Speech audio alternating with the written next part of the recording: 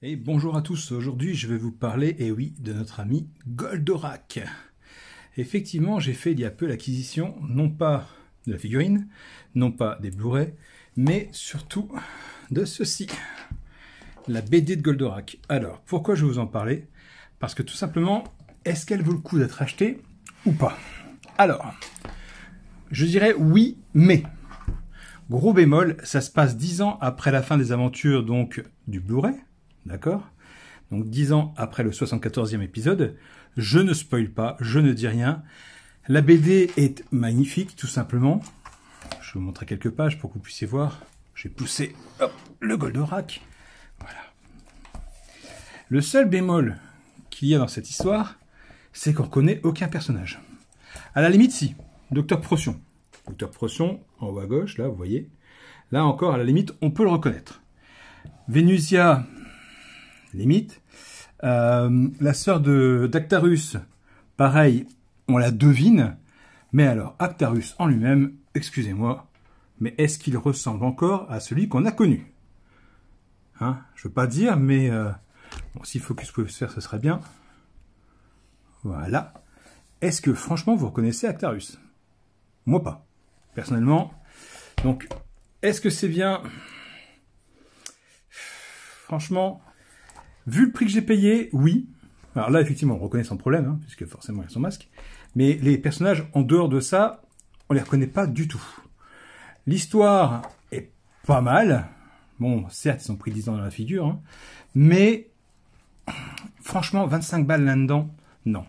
Même si, à la fin, voilà, à la fin de l'histoire, vous avez un petit documentaire, des storyboards, tout ça, qui vous explique un peu la genèse de la BD. Mais ouvertement, au prix où c'est vendu initialement, je vous mens pas, hein, c'est quand même vendu, dans le bon sens ce serait mieux, 24,90€. Personnellement, je trouve ça cher. Mais si, comme moi, vous avez l'occasion de le choper à 10 balles, foncez.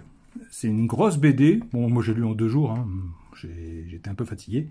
Euh, en tout, il y a, pour la BD en elle-même, je vais pas dire de bêtises, il y a 146, je crois. 145 pages. 146, ouais. 145.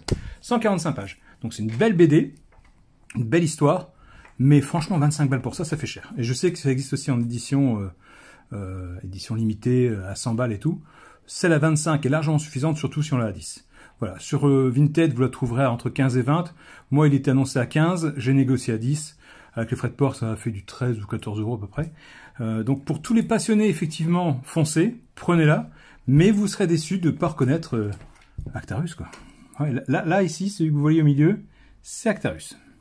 Moi, euh, très très très déçu de ne pas le reconnaître. C'est bien dommage.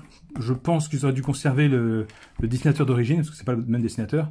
Mais ça vaut le coup de le lire et de l'avoir dans sa collection. Voilà, c'est mon avis pour tous les fans. Sinon, si vous êtes juste un amateur de Goldorak en plus, passez votre chemin, vous n'aimerez pas du tout, du tout, du tout. Vous ne connaîtrez pas l'histoire ni rien. Il y a plein de choses qui ont changé. Enfin bref. J'ai bien aimé, mais pas 25 balles. À 10 balles, oui, mais pas plus. Donc voilà, dites-moi si vous, vous l'avez lu, si vous avez aimé, et euh, ce que vous en avez pensé, et à quel prix vous l'avez eu. Voilà, c'était ma petite critique rapide de Goldorak. Voilà, sur ce les amis, je vous laisse tranquille, et je vous dis à plus tard. Ciao, ciao, ciao